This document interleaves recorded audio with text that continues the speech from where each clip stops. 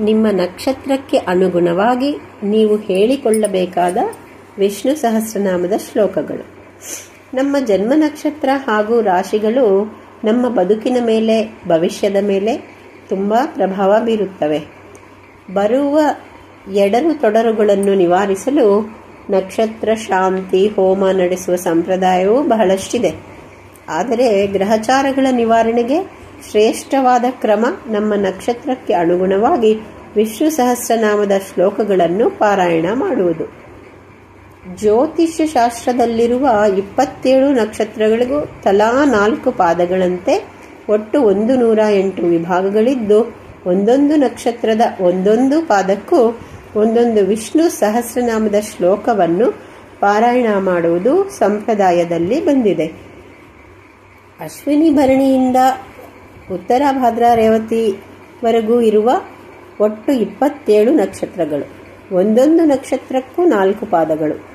ನಿಮ್ಮ ನಕ್ಷತ್ರ ಹಾಗೂ ಎಷ್ಟನೇ ಪಾದ ಎಂದು ತಿಳಿದು ಅದಕ್ಕನುಗುಣವಾಗಿ ಈ ಮುಂದೆ ತಿಳಿಸಿರುವಂತೆ ಅದಕ್ಕನುಗುಣವಾದ ವಿಷ್ಣು ಸಹಸ್ರನಾಮ ಸ್ತೋತ್ರವನ್ನು ಪ್ರತಿನಿತ್ಯ ಕನಿಷ್ಠ ಹನ್ನೊಂದು ಬಾರಿ ಪಾರಾಯಣ ಮಾಡಿಕೊಳ್ಳಬೇಕು.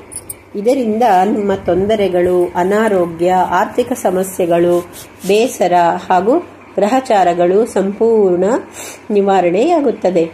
ಅಷ್ಟೇ ಅಲ್ಲ, ವಿಷ್ಣು ಸಹಸ್ರನಾಮದ ಪಾರಾಯಣದಿಂದ ಎಲ್ಲ ಶುಭ ಹಾಗೂ ಮಂಗಳ ಫಲಗಳು ಸಿದ್ಧಿಸುತ್ತವೆ. ನಿಮ್ಮ ನಕ್ಷತ್ರ ಮಾತ್ರ ಗೊತ್ತಿದ್ದು ಎಷ್ಟನೆಯ ಪಾದ ಎಂದು ಗೊತ್ತಿಲ್ಲದವರಿಗೆ ಆ ನಕ್ಷತ್ರದ ನಾಲ್ಕು ಸ್ತೋತ್ರಗಳನ್ನು ಹನ್ನೊಂದು ಬಾರಿ ಹೇಳಿಕೊಳ್ಳಬೇಕು. ಆಶ್ಲೇಷ ನಕ್ಷತ್ರ ಮೊದಲನೇ ಪಾದದವರು ಹೇಳಿಕೊಳ್ಳಬೇಕಾದ ವಿಷ್ಣು ಸಹಸ್ರನಾಮದ ಶ್ಲೋಕ. ಯುಗಾಧಿಕೃತ್ ಯುಗಾವರ್ತೋ ನೈಕಮಾಯೋ ಮಹಾಶನಃ ಅದೃಶ್ಯೋ ವ್ಯಕ್ತರೂಪಶ್ಚ ಸಹಸ್ರಜಿದನಂತಜಿತ್. ಆಶ್ಲೇಷ ನಕ್ಷತ್ರ ಎರಡನೇ ಪಾದದವರು ಹೇಳಿಕೊಳ್ಳಬೇಕಾದ ವಿಷ್ಣು ಸಹಸ್ರನಾಮದ ಶ್ಲೋಕ. ಇಷ್ಟೋ ವಿಶಿಷ್ಟ ಶಿಷ್ಟೇಷ್ಟ ಶಿಖಂಡಿ ನಹುಷೋ ವೃಷಃ ಕ್ರೋಧವಾಕ್ರೋಧಕೃತ್ಕರ್ತ ವಿಶ್ವಬಾಹುರ್ಮಹೀಧರ. ಆಶ್ಲೇಷ ನಕ್ಷತ್ರ ಮೂರನೇ ಪಾದದವರು ಹೇಳಿಕೊಳ್ಳಬೇಕಾದ ವಿಷ್ಣು ಸಹಸ್ರನಾಮದ ಶ್ಲೋಕ. ಅಚ್ಯುತಃ ಪ್ರತಿತಃ ಪ್ರಾಣಃ ಪ್ರಾಣದೋ ವಾಸವಾನುಜಃ. ಅಪಾಂ ನಿಧಿರಧಿಷ್ಠಾನಮಪ್ರಮತ್ತಃ ಪ್ರತಿಷ್ಠಿತಃ. ಆಶ್ಲೇಷ ನಕ್ಷತ್ರ ನಾಲ್ಕನೇ ಪಾದದವರು ಹೇಳಿಕೊಳ್ಳಬೇಕಾದ ವಿಷ್ಣು ಸಹಸ್ರನಾಮದ ಶ್ಲೋಕ. स्कन्दः स्कन्दधरो धुर्यो वरदो वायुवाहनः।